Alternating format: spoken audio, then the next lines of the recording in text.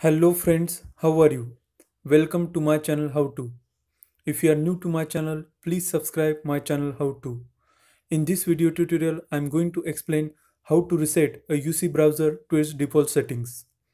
When you reset your browser to its default settings, then all the settings that you have applied in your browser are set to its default. So let's see how to do it.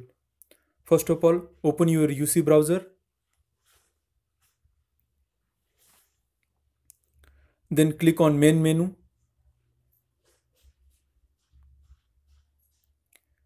Then click on settings icon.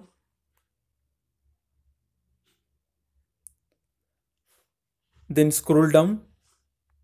And here you can see reset to default. Click on reset to defaults. It will ask you for the confirmation. Then click on reset button.